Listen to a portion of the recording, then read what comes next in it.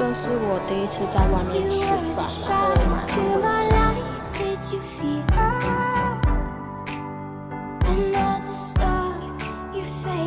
我有输赢的，进去里面。哦，挺疼的，孩子们。哎，孩子，你的脚啊，你的脚，哦，你现在是要跟我亲亲吗？你不要爬到我头上。这个孩子不不走了，啊，走了走了。他刚刚在我肩上至少待了快五分钟吧。你那只狗子哈，有人甲你讲过你只狗子无？看是无？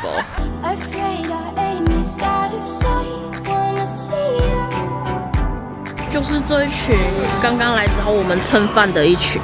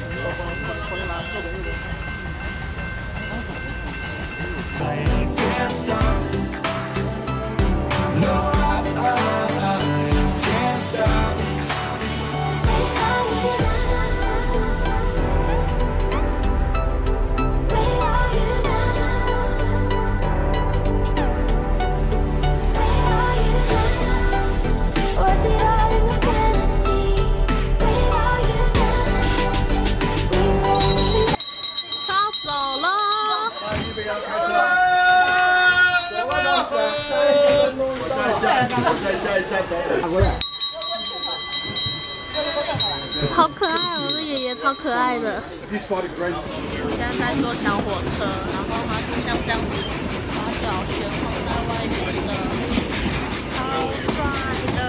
我觉得来墨尔本这个必备。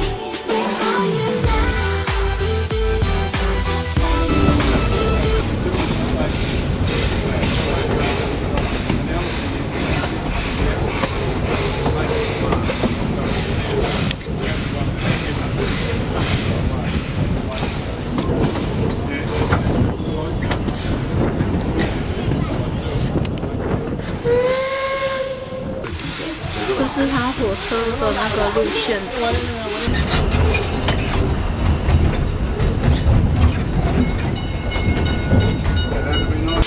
Look out there, you'll see a signal, the arm goes straight out. It's going to drop down. It's going to drops down.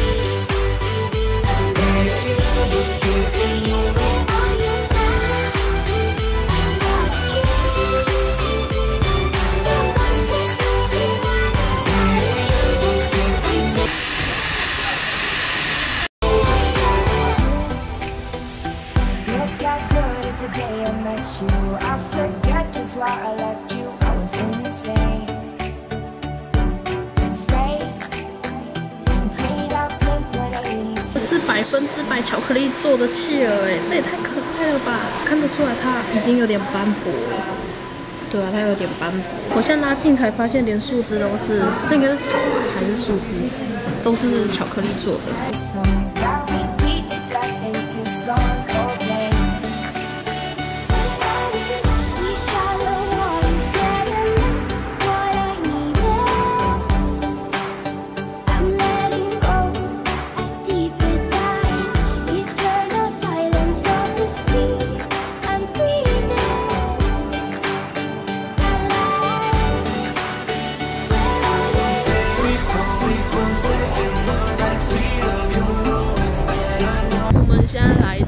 是在看野生海报，说是在后面那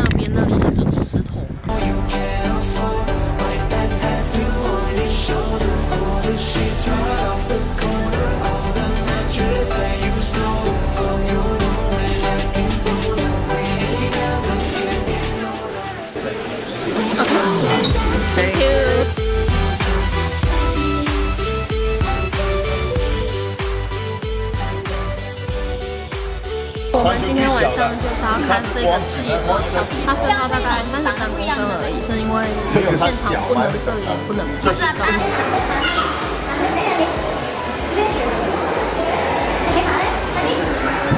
这里有一只企鹅，这是它的巢穴，是在睡觉。看完都已经天黑了，最黑的那一种。我刚刚才从企鹅岛那边回来，它那里全程不能录影，所以我就只有在馆内的时候，因为在里面所以才可以录影。其实还蛮幸运的，就是我坐的位置都看得到企鹅回来，然后就一路这样跟着企鹅走。还有就是我刚好要进去馆内的时候，因为他们就有一条道路是有些企鹅会从别的地方回来，他们就在我面前过马路，有够可爱的，然后超小只的，因为他们一只大概就是三三公分，真的超可爱的，所以我觉得很值得来看。然后小火车也是，小火车真的很好玩。其实，在那一个火车上面坐一整天不会觉得很无聊，体验的那种感觉真的很很推。